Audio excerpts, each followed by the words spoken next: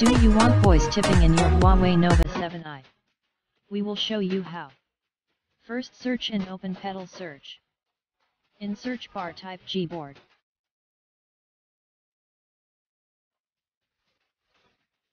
Tap on install in front of Gboard. Tap download. Wait for Gboard download to get completed.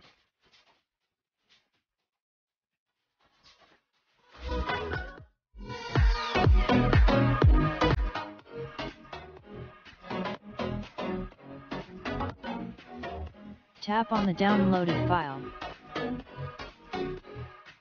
Tap install and then tap allow.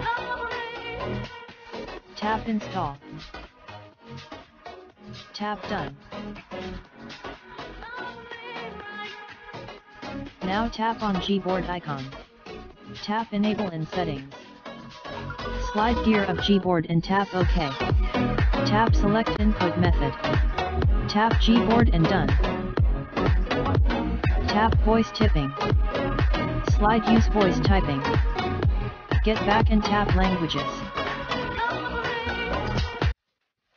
Tap add keyboard. Search and tap language you want to add. Tap multilingual and add keyboard style by tapping.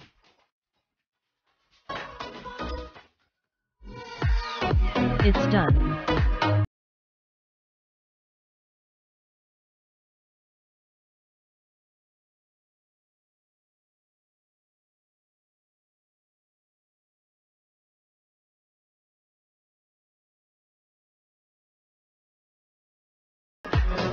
Open any text box and try the voice typing by tapping mic icon and say hello.